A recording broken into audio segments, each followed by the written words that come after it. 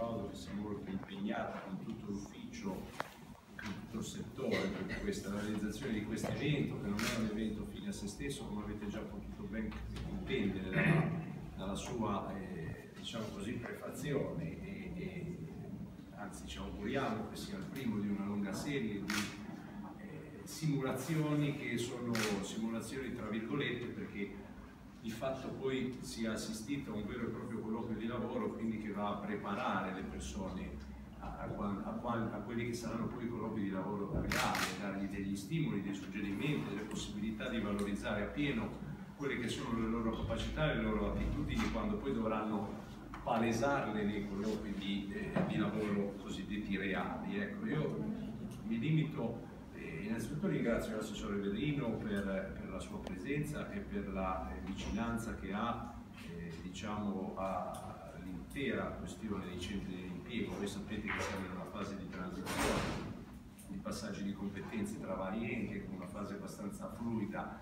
eh, per non dire liquida, che però ci, ci, ha consentito e ci consente in questo momento di organizzare eventi, iniziative importanti e, e soprattutto utili come quella,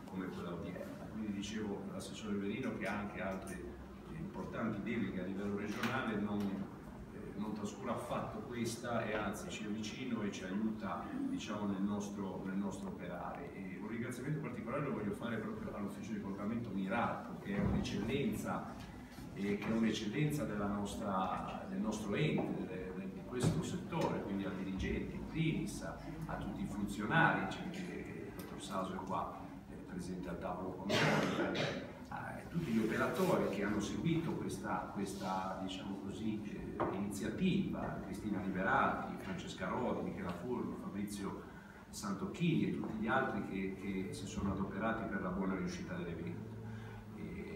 Questo evento è stato possibile anche grazie alla partecipazione, alla collaborazione e alla eh, diciamo così, presenza fattiva, perché poi senza di loro non si poteva fare dei responsabili dell'ufficio personale di due importanti aziende del territorio provinciale che sono la GT, l'ex Leclerc di Armanitaggia e la Amari SPA di Salerno. Ecco, quindi un ringraziamento particolare alla dottoressa Manuela Campagna e al dottor Gianluca Odone che hanno, sono stati protagonisti di, questo, di questa, eh,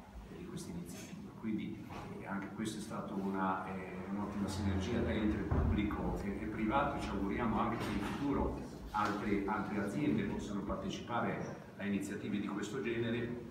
perché davvero poi un riflesso concreto eh, sul futuro di quelle, delle persone e, e dal punto di vista occupazionale ci può essere. Ecco, credo che il tema sia uno dei più importanti che dobbiamo affrontare in questo periodo di crisi, quindi ogni prospettiva, ogni soluzione che si può trovare per dare delle, un possibile futuro lavorativo alle persone soprattutto a quelle diciamo, che devono fare i conti eh, con eh, diciamo così, delle disabilità di diverso genere, credo che sia importante. L'iniziativa quindi non fine a se stessa, un'iniziativa concreta che sono convinto che non sarà